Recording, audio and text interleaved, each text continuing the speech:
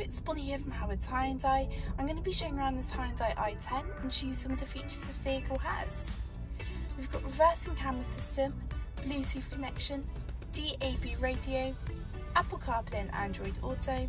We've got air conditioning, daytime running lights and cruise control with speed limiter. Now let's take a look around this vehicle.